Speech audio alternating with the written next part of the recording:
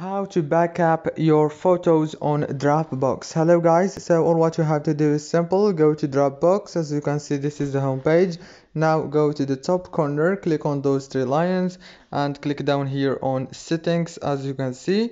Click on it and it will take you to this page. Now on this page you will find many options as you can see but all what you have to do is simple. Click on camera uploads.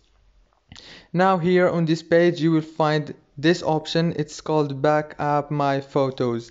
Click on it and everything will be done in easy fast way. If this video was helpful please don't forget to like and subscribe. And thank you so much for watching this video until the end. See you later